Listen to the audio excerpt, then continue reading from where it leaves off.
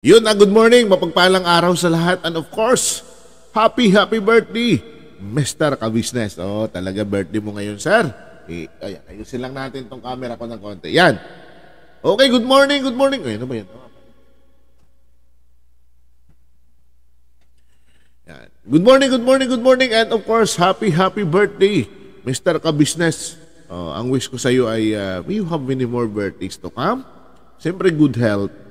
At sana maayos na. Maayos na ang ah, ang channel mo, maayos na sa kasalukuyan. Ah, alam niyo po mga idol, ah, ayusin ko lang talaga yung ano kasi birthday talaga ni Boss eh. alam niyo po mga idol, ah, wala tayong reaction ngayon, ano? Good good vibes tayo ngayon. So, nakita natin yung mga paghahanda ah, doon sa mga kanyang mga tinulungan na inikot ng mga kagwang at muling binalikan para maging bisita, maging importanteng bisita po ni Mr. Kabisnes ay siya pong tunay na, napak, naka, na napakasaya ano po. Pero magamat ganito naman eh meron pa rin nagtatanong ano, sabi ng iilan eh bakit daw iniikutan at ah, binabalikan yung mga tinulungan. Bakit ganun? Ano, nagtatanong sila pag si Mr. Kabisnes ang bumabalik ng pagtulong doon sa mga natulungan.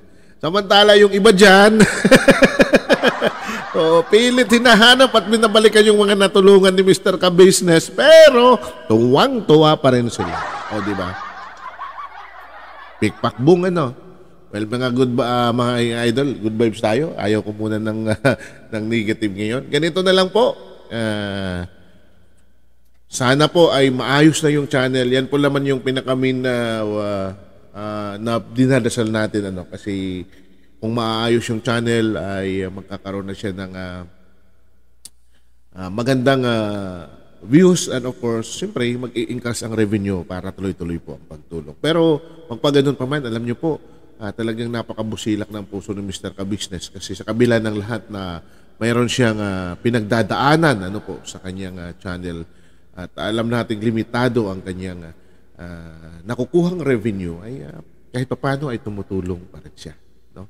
So pakaabangan natin at pakatutukan ang mga kaganapan sa birthday na ito at marami siguradong mga pangyayari at malamang may mga part-part ito abangan nyo katulad siguro sa una uh, sobrang saya.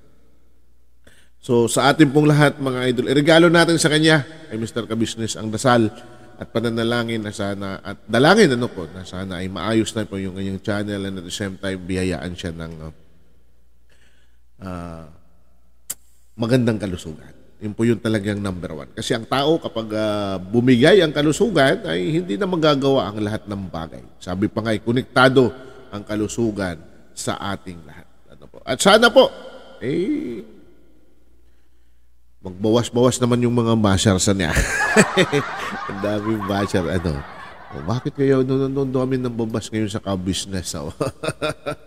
Pati sa mga reactors binabas. Kaya pasensya na po kayo kung minsan parang nag-iiba-iba na rin ako. Oo, pero tawa lang ako ng tawa. Pinagtatawanan ko lang sila. Magpagano pa man mga idol, kapit lang po tayo. At naniniwala naman tayo na ang kabutihan ay laging nananaig laban sa kasamaan at uh, sa mga kumikustyon sa kabusilakan ng puso ng isang kabisnes sa larangan ng pagtulong, hindi po natin matatawaran ang totoong pagtulong ni kabisnes. Happy birthday again, Boss Kabisnes. Maligayang araw para sa iyo.